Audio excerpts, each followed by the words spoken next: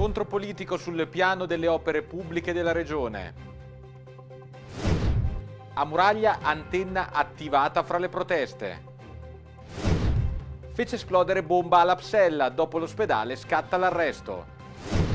Al via il nuovo progetto di prevenzione alle truffe agli anziani. Basket la AVL strizza l'occhio agli abbonati con prezzi popolari.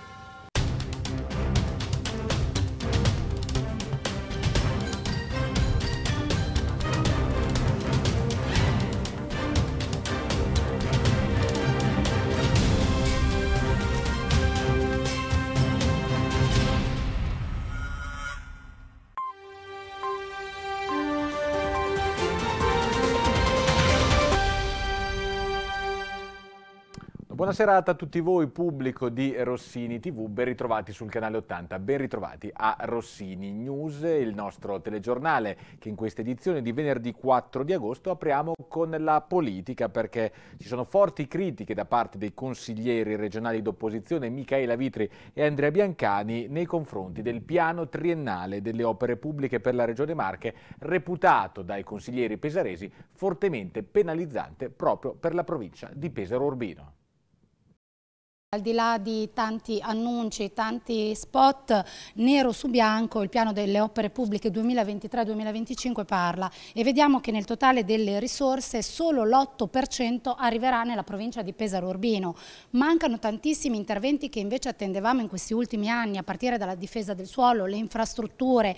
E per ciò che riguarda l'edilizia sanitaria ci stupisce vedere che non ci sia assolutamente nulla per la provincia di Pesaro Urbino, a differenza ad esempio di Ancona, Macerata, Ascoli Piceno e Fermo. E in particolare nella nostra provincia questo 8% sarà nel triennio 24 milioni di euro circa solo briciole, cioè un investimento eh, irrisorio rispetto ad esempio ai 145 milioni di euro della provincia di Macerata. Siamo in assoluto la più penalizzata insieme a quella di Ascoli Piceno e ci stupisce anche vedere in questo piano dove ci sono quelle opere che hanno già dei progetti, vedere che invece ci siano quelli che dovevano essere già avviati, ad esempio la difesa della costa nel fiume Foglia nella zona di Valle Foglia. Questo ancora un intervento non iniziato che appare di nuovo nel piano triennale delle opere pubbliche mentre mancano tutte quelle strade che la giunta Quaroli Baldelli ha annunciato negli ultimi anni, una totale incapacità di progettazione e al di là, ripeto, di ogni annuncio, il piano parla chiaramente, come potete vedere dalle cifre,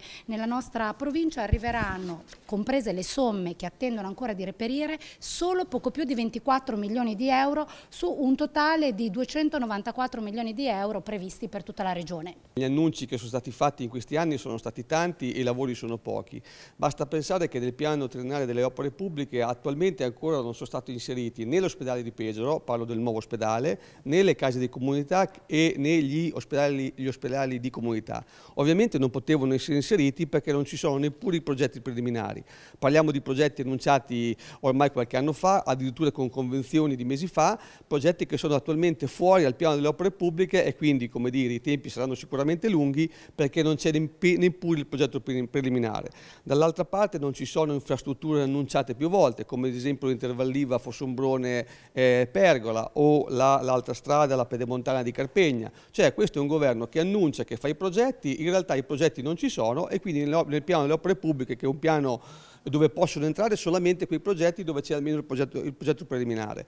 Dall'altra parte invece ci sono, ricordo che loro governano da tre anni, eh, quindi non è che governano da ieri mattina, e ancora ci sono opere pubbliche che avevamo messo noi nel piano triennale delle opere pubbliche perché avevamo fatto fare i progetti preliminari, basta pensare alla cassa di, espansione del fiume Foglia, eh, quella a Valle Foglia e quella a Monte Calvo. Manca ancora c'è l'intervento di riqualificazione per il 118 e la SOI, quello legato all'emergenza, e ancora lo, lo, lo, ritroviamo nel piano delle opere pubbliche, come, come, ritroviamo ancora la ciclovia del Metauro che doveva essere iniziata ormai già da mesi e non troviamo più per niente la ciclovia del Foglia, eh, del Foglia in particolare il tratto che collega Pesaro a Montecco. Ovviamente non c'è perché ancora il progetto non è stato approvato e quindi non è possibile inserirlo. Quindi un piano che penalizza la provincia di Pesaro Urbino, complessivamente appena l'8% dei finanziamenti, l'8% sul totale sono attualmente inseriti nel piano per quanto riguarda la provincia di Pesaro Urbino, con opere che dovevano già esserci che non ci sono con opere che non ci dovevano essere perché dovevano già essere iniziati, che ancora sono previste nel triennale, quindi vuol dire che non partiranno neppure nel 2023, ma non si, non si sa quando partiranno. Prima le rassicurazioni, poi l'attivazione e ora tante incertezze all'orizzonte. A Pesaro non c'è pace attorno ai casi di antenne di telefonia 5G, nonostante le imminenti rassicurazioni su una prossima regolamentazione da parte delle comune di Pesaro. Oggi c'è stata una manifestazione al cospetto della nuova torre sorta nelle quartiere di Muraglia. Speravamo, insomma, viste le rassicurazioni iniziali, che questa appunto antenna non venisse mai messa in funzione. La cosa che ci rammarica è che a, da una parte siamo contenti che siamo riusciti ad avere un dialogo, eh, siamo riusciti a, portarci, a portare la problematica all'attenzione del Consiglio Comunale attraverso un'interrogazione fatta appunto dalla Lega e successivamente abbiamo anche avuto appunto riscontro anche dall'assessore all'ambiente, da ultimo anche dal capo di gabinetto. L'unica cosa che vorremmo sostanzialmente capire è esattamente il giorno, cioè esattamente il giorno in cui verrà attivata questa antenna e il giorno in cui verrà disattivata. L'altra cosa spiacevole è che effettivamente l'installazione non sappiamo se eh, verrà posto appunto rimedio o no o c'è stato effettivamente un errore di installazione, su questo ci potrà rispondere soltanto effettivamente la società che ha provveduto ad effettuare l'installazione e questo eh, rumore appunto acustico che, mh, mm, che, è diventato eh, veramente un problema molto serio e che, di cui non si fa riferimento, vi assicuro, né nel progetto né tantomeno l'ARPAM l'ha preso in considerazione perché l'ARPAM è tenuta a dare una valutazione sul campo elettromagnetico. Ho provveduto a mettere appunto a conoscenza di questa situazione tutti gli organi dell'amministrazione comunale, indifferentemente di maggioranza, di minoranza e su questo abbiamo avuto appunto solidarietà. La cosa che voglio appunto mettere in evidenza è che questa, non siamo dei bacchettoni, non siamo dei fanatici, non è che effettivamente eh, protestiamo, facciamo delle, delle, proteste senza senso. Il punto è che qui molta, abitano molte persone anziane che trascorrono eh, maggior parte del tempo tempo appunto dentro casa, c'è un asilo dove ci sono dei bambini che trascorrono gran parte della giornata dentro appunto la struttura.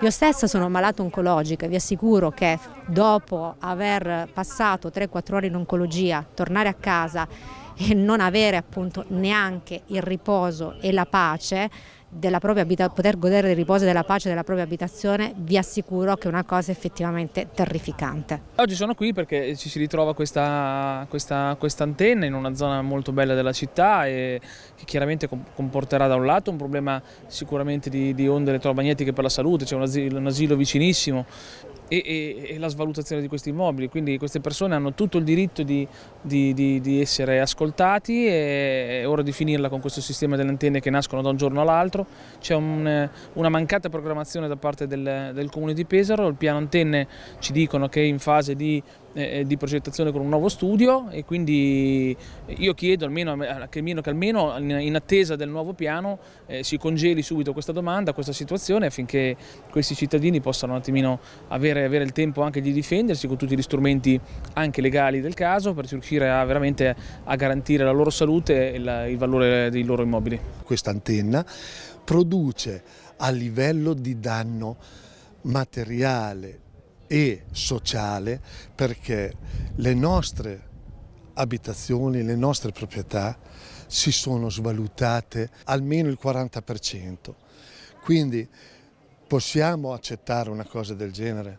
La richiesta è che venga bloccata come le altre le altre antenne che sono state, eh, sono state richieste quest'anno da parte di, delle varie compagnie di telefonia sono state tutte temporaneamente sospese per il tempo che eh, la Polab, un'azienda incaricata dal comune, eh, per fare il nuovo piano antenne, il nuovo piano regolatore.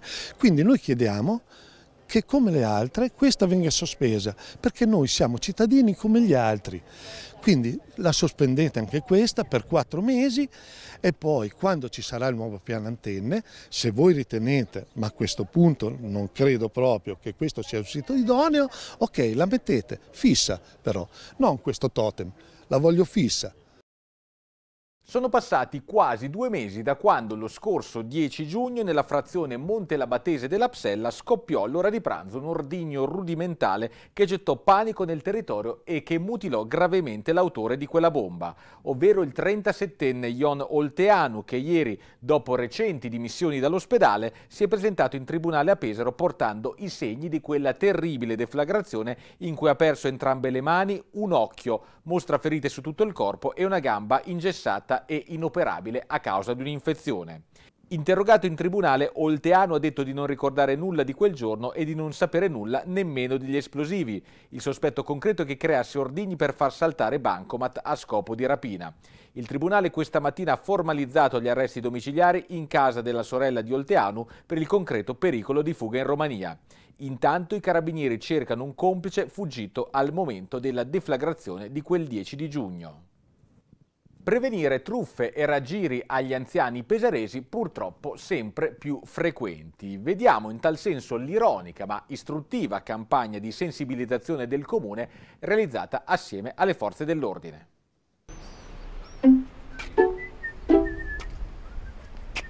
Mario! Marione! Ma guarda te! Oh, ciao, carissimo. Da lontano sei la coppia spudorata di Roberto. Miss Margheria, tacciami più, no? Eh. Dai, su, dammi un abbraccio, saranno dieci anni che non ci vediamo. E allora? Come stai? Eh, stai bene. L'abbraccio di un truffatore che si finge vecchio conoscente o amico del figlio o del nipote, mandando in confusione l'anziano e raggirandolo. Una scena sempre meno inusuale nel territorio pesarese che ora diventa uno spot per prevenire simili truffe. Sicuri di essere al sicuro è la prosecuzione di una campagna di sensibilizzazione avviata da anni dal comune di Pesaro e che si rafforza con la collaborazione di Polizia di Stato, Polizia Locale, Carabinieri e col finanziamento ministeriale di 17.000 euro. Grazie alle forze dell'ordine eh, abbiamo approfondito la questione per però eh, presentarla al pubblico in maniera eh, semplice leggera perché ecco, è importante arrivare a più persone possibili e fare una comunicazione che sia incisiva. Quindi il video lo è perché c'è poi il bravissimo Carlo Pagnini eh, che è un'istituzione a Pesaro insieme ai bravi ragazzi attori della piccola ribalta. Ecco, vogliamo comunicare un tema importante in maniera leggera. Può capitare che gente mai incontrata prima si avvicini a voi inventando storie, fingendosi qualcuno che non è. Non dategli mai corda, fidatevi sempre e solo di voi stessi. Se non ve lo ricordate è perché sicuramente non lo conoscete. Se dovesse capitare anche a voi, non vergognatevi e denunciate immediatamente il furto alle forze dell'ordine quella a cui avete assistito in pochi minuti è una storia ordinaria, quello che normalmente può succedere e può accadere per strada. Utilizzate i numeri di emergenza, se vedete qualcosa che non vi convince, chiamate senza problemi e quello che è un racconto diventa fatto reale e consolidato per la città. Mi raccomando, chiamate. Questa è proprio la classica modalità di truffa che è stata individuata proprio nel territorio pesarese. Per noi è molto importante che chiami subito appena si rende conto di aver subito il fatto perché eh, in questo modo si attiva subito la macchina della Polizia di Stato, delle forze dell'ordine e si può individuare subito anche il malfattore. È importante che cerchi di ricordare come, come è vestito, se uomo o donna, le fattezze, perché in questo modo anche grazie nostro, alle nostre squadre volanti possiamo individuare subito eh, il truffatore ed è importante per noi che eh, l'anziano o la vittima faccia questo e che non si senta e non si vergogni di, eh, di farlo perché eh, si gioca anche molto su questo, sulla eh, percezione di sé. Una persona si sente truffata, si sente lei colpevole di essere stata vittima di, una, di un reato commesso da altre persone, invece a tutti può capitare, giovani e anziani, quindi l'importante è che chiamino subito le forze dell'ordine. Solo facendo così siamo sicuri di essere al sicuro. C'è anche la Baia Imperiale di Gabice Mare fra le sei discoteche scelte dal Ministero dei Trasporti per il progetto sperimentale che nell'ambito delle iniziative sulla sicurezza stradale ha stanziato fondi per pagare il taxi a chi, sottoponendosi all'alcol test all'uscita dei locali, superi il limite previsto per mettersi alla guida. Un caso che fa scattare il fatto che la persona può essere riportata a casa così come le persone che accompagnava gratuitamente. Saranno i locali di intrattenimento come la Baia Imperiale, previa convenzione con le compagnie locali di tassisti, a fornire i voucher in questione. Un progetto sperimentale che ora riguarda i primi sei locali notturni e il periodo che va da agosto a metà di settembre.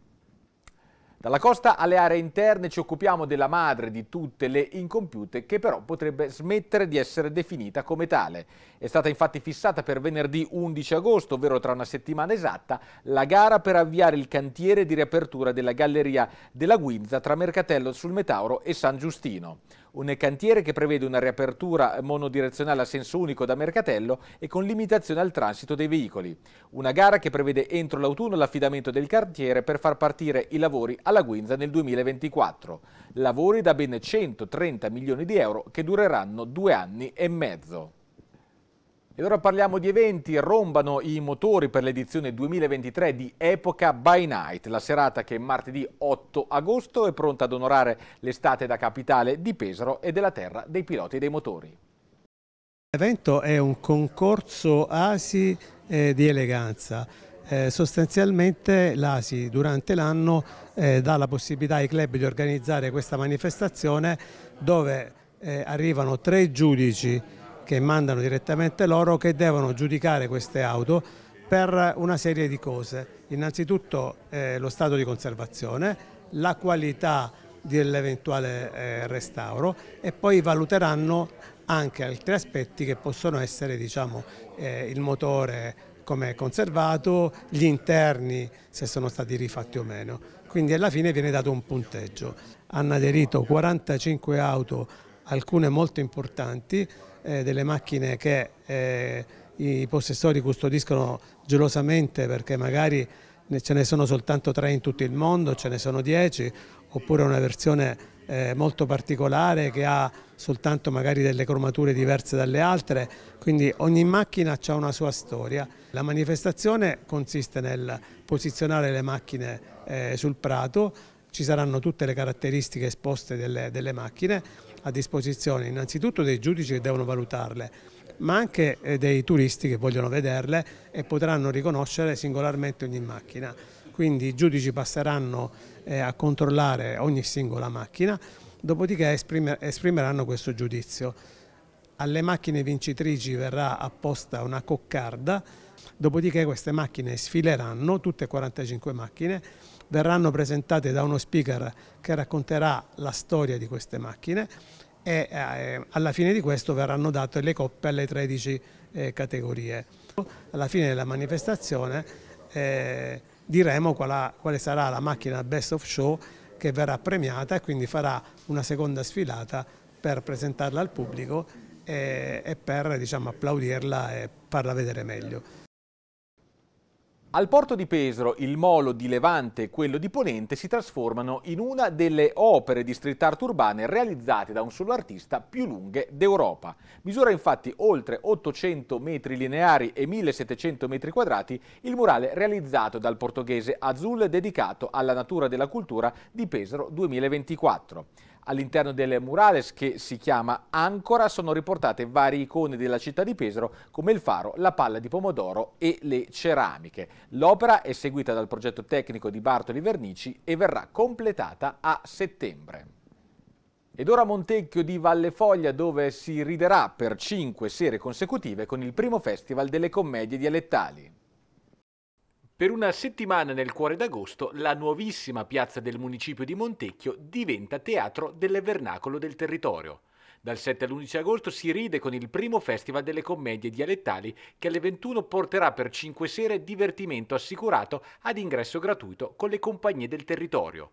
Si comincia lunedì 7 agosto con le pillole di comicità della compagnia pesarese Farofollie, per poi proseguire con i Senza Prescia di Mondaino che proporranno Efeva Ben Miron, a seguire i Rimediati di Borgobassano con Toda di Naroba, la compagnia Urbinate APS che presenterà l'Arplit e il Sipario che si chiude venerdì 11 agosto con la compagnia Improvvisando di Valle Foglia che metterà in scena il fidanzato della fidanzata.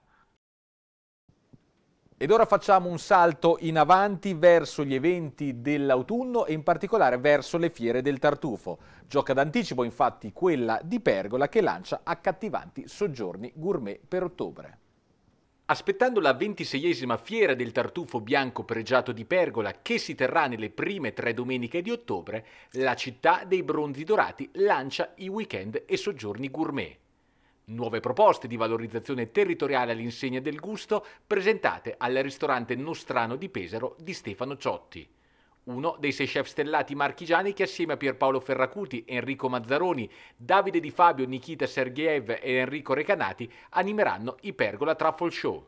L'impegno quest'anno è a cogliere ancora maggiormente l'occasione della Fiera Nazionale del Tartufo Bianco Pregiato di Pergola per far sì che sia occasione non solo per venire a Pergola per una giornata ma per trascorrere un fine settimana importante, un fine settimana alla scoperta delle eccellenze del territorio nella nostra zona. Quindi ecco, sarà sicuramente un'ottima occasione per gustare i nostri tartufi ma non solo per scoprire un territorio che ha veramente tanto da, da dare. Eh, abbiamo deciso di organizzare questi pacchetti che partiranno appunto il venerdì, sabato e domenica nei, weekend, nei primi tre weekend di eh, ottobre proprio per ampliare l'offerta eh, della nostra fiera e mettere in mostra non solo ovviamente la, ehm, le, le, le, eccellenze eh, culinarie grazie a, appunto a questa collaborazione con i sei chef stellati ehm, che eh, l'Atim aveva già ecco, messo insieme in occasione promozione della, della BIT di eh, Milano, ma anche mostrare quelle che sono poi le nostre bellezze paesaggistiche, eh, culturali eh, e eh, storiche, come ad esempio i nostri, eh, oltre ecco, all'oro della terra, abbiamo un altro oro importantissimo per noi che sono i bronzi dorati che sono custoditi in questo nostro bellissimo museo e sono unici al mondo. Nelle Marche vi è un progetto ormai molto nitido che tartufo tutto l'anno nelle Marche, quindi in ogni stagione, in ogni mese abbiamo una pepita differente che dobbiamo tenere in alta considerazione come i grandi pregiati, perché il tartufo è un'espressione di madre terra, i cuochi lo sanno conciliare molto bene, sei chef stellati da Monte Cosar, da, diciamo da, da Gabice fino al, ai Sibillini riusciamo a raccontare un un messaggio particolare. Per sei, per sei, volte a Pergola si racconterà un messaggio di turismo, di cucina, di tartufo, di grande eleganza e io dico anche di marchigianità piena che sa accogliere l'ospite, il turista e il gourmet. Non solo tartufo bianco pregiato, ma anche una pasta adesso perfettamente abbinata, ovvero i maccheroncini della Fermana Campofilone, unica pasta all'uovo IGP d'Europa. Ci teniamo in modo particolare a questo prodotto e soprattutto ci teniamo ad accoppiarlo, noi chiamiamo matrimonio del gusto, con dei prodotti di altrettanta qualità come il tartufo bianco di pergola. Quindi questa occasione è per promuovere questo, questo, connubio che avverrà poi nei prossimi mesi eh, perché significa promuovere il territorio, promuovere eh, le attività del territorio e quindi portare lavoro ed economia anche nei nostri piccoli borghi. E concludiamo con lo sport. Lunedì 7 agosto la Vispesaro conoscerà il calendario di Serie C 2023-2024, come annunciato oggi dalla Lega Pro che, come era preventivato, ha posticipato di una settimana l'inizio del torneo di Serie C che comincerà domenica 3 di settembre. Come noto invece comincerà il primo di ottobre la Serie A di basket e in tal senso andiamo a conoscere la nuova campagna abbonamenti della Carpegna Prosciutto Basket Pesaro in vista del campionato 2023-2024. Il sesto uomo siete voi non solo uno slogan, ma un atto di riconoscenza verso i propri tifosi che la VL ripaga con abbonamenti a prezzi ribassati di circa il 10% in vista del campionato 2023-2024.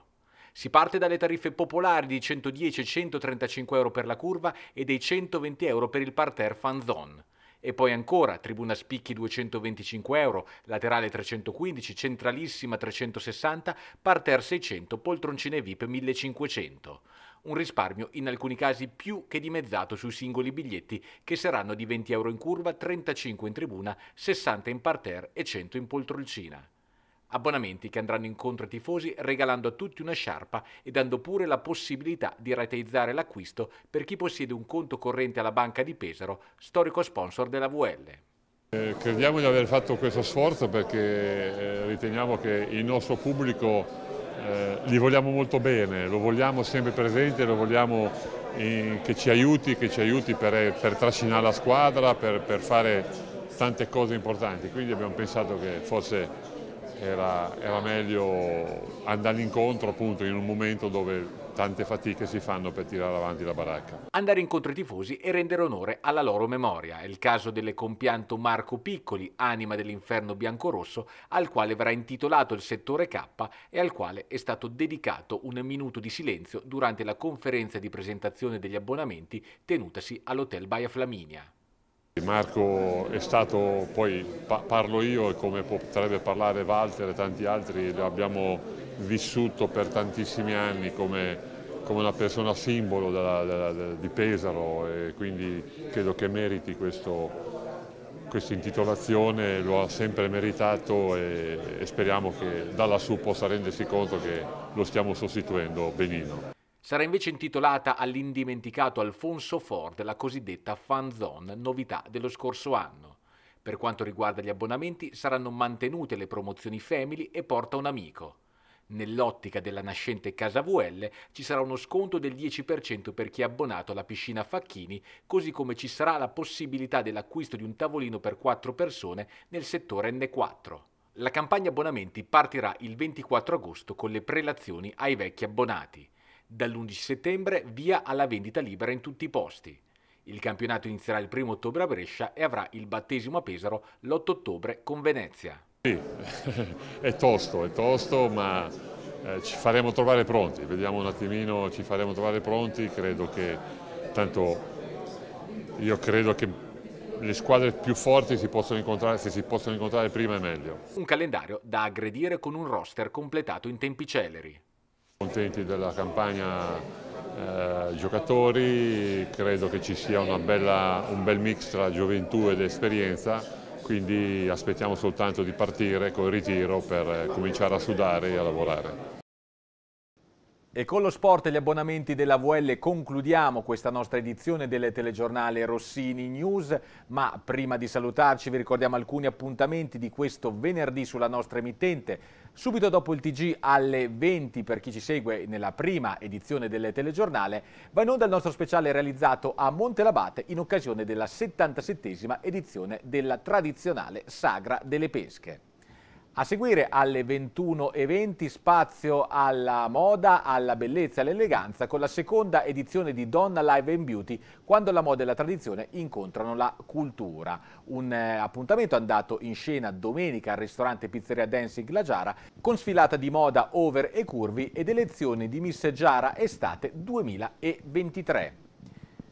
E poi alle 21.40 parleremo di economia a un mese esatto dalla convention mondiale, la 32esima tenutasi a Colli del Tronto che ha radunato le Camere di Commercio italiane all'estero, verranno presentati i risultati della Camera di Commercio delle Marche. Appuntamento, come detto, alle 21.40.